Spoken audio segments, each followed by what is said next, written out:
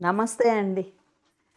నేను మీ భవానీ కుస్మాని. నేను మీరు అందరం బాగుండాలని ఆ భగవంతుణ్ణి కోరుకుంటూ ఈరోజు నేను పెట్టిన తమ్నేలు చూసుంటారు కదండి. అది ఎందుకు పెట్టానంటే నా సబ్స్క్రైబర్స్ కూడాను ఎక్కువ శాతం జెంట్సే కాబట్టి అందుకని అదే పెట్టాను. చూసేది కూడా వీడియోస్ జెంట్సేను కాబట్టి అందుకని ఆ తమ్నేలు పెట్టాను.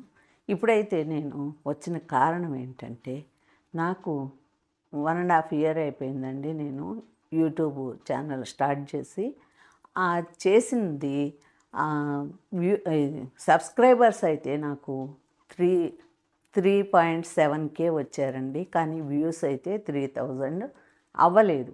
ఎందుకంటే వ్యూస్ తక్కువ వచ్చినందువల్ల నాకు మాంటేజ్ అవ్వలేదు. మాంటేజ్ అవ్వలేదు ముందు పెట్టిన వీడియోలు వ్యూస్ అన్నీ వేస్ట్ అయిపోయాయి. వన్ ఇయర్ అయిపోయింది కదా అవి వేస్ట్ అయిపోయాయి. మళ్ళా వెనక్కి వెళ్ళిపోయింది. ఇంకా టూ మంత్స్ ఉందనంగా ఇక నాకు మాంటేజ్ అయ్యే టైంలో ఇప్పుడు మళ్ళా వ్యూస్ వేస్ట్ అయిపోయాయి.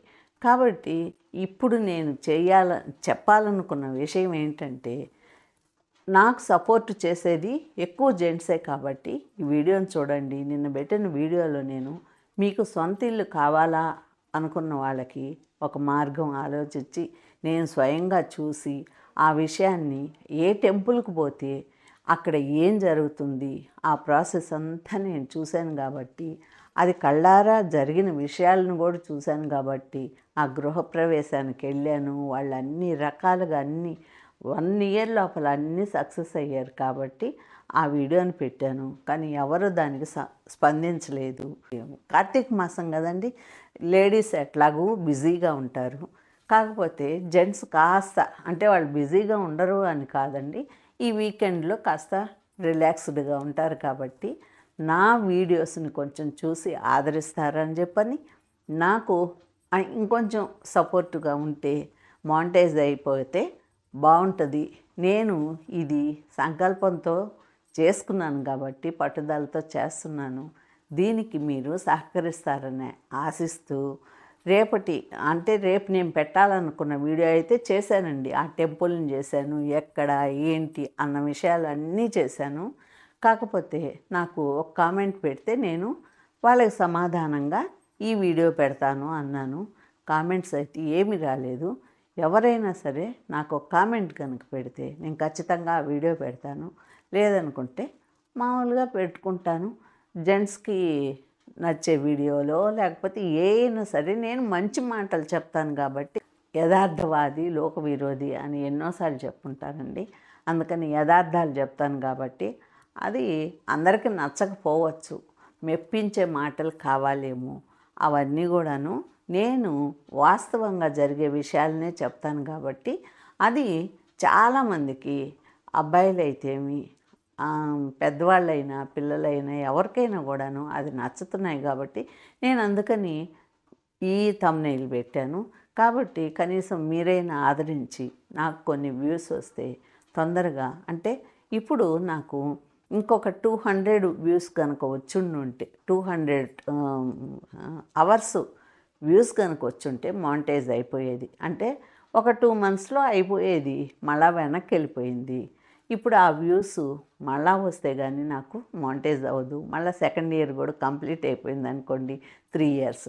కానీ three point K seven K వచ్చింది కదా ఆయన కూడా మాంటేజ్ కాలేదు. కానీ ఫైవ్ హండ్రెడ్కు వచ్చిన వాళ్ళకి కూడాను మాంటేజ్ అయిపోయి వాళ్ళకి వ్యూస్ బాగా వస్తున్నాయి.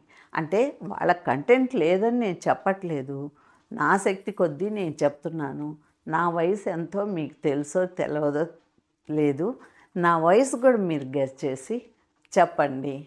దానికి కూడా నేను సంతోషపడతాను. తర్వాత నా వయసు నేనే రివీల్ చేస్తాను మీకు.